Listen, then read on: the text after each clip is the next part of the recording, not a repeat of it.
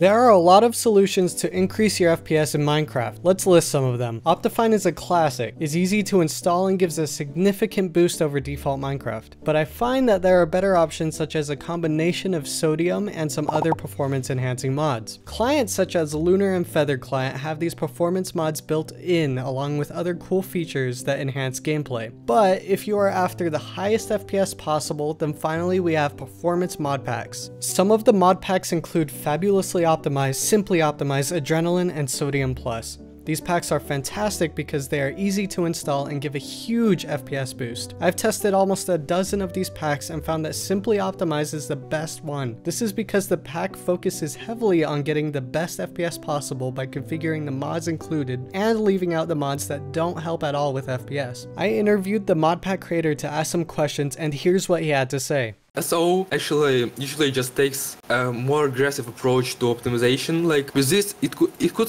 have some usual glitches, but it gives a few more FPS uh, for no actual huge visual impact, so it's there.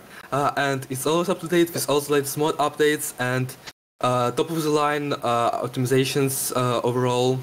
After installing the mod pack, you get even more FPS and reduced starters were some of the tips here. That's mostly for advanced users, so. Okay, so now you may be wondering, how do I download this mod pack? This mod pack is available on Modrinth, and to install it, you need to stop using the default Minecraft launcher. It's very bad for modding, and you have to do a lot manually, so I recommend you to check out my video on launchers to get more details. But for now, let's just download the ATLauncher. This is what I use. Once it's downloaded, you need to sign into your account. After that, let's change some launcher settings to get some more FPS.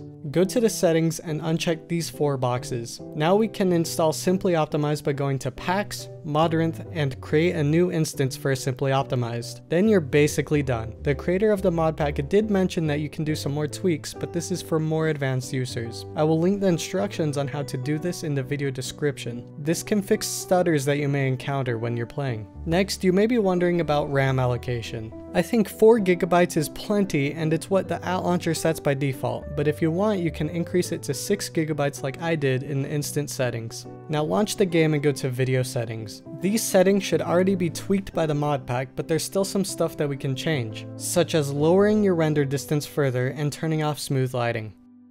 You may be wondering, what about features that Feather or Lunar client had? How do I get those? Well, with the ATLauncher, it's very easy to add mods that do the same things as in those clients. Or if you like the features that Optifine had, such as holding a torch in your hand to light up an area, or the Optifine Zoom, then I recommend you to download Additive. This mod pack is very closely related to Simply Optimized, but includes these Optifine features and more. The developer does a great job on it as well and keeps it frequently up to date. Additive also gets a crazy amount of FPS, which is awesome. So we have learned that there are a lot of ways to boost your FPS in Minecraft, but the best one would be to download a launcher such as the ATLauncher, and to download either Simply Optimized for the most FPS, or Additive for Optifine features as well as a ton of FPS. Here is a big FPS comparison between regular Minecraft, Optifine, Feather Client, Additive, and finally Simply Optimized. I hope you guys learned something from this video and you got your FPS boosted. Please leave a comment if I missed something or if you have any questions.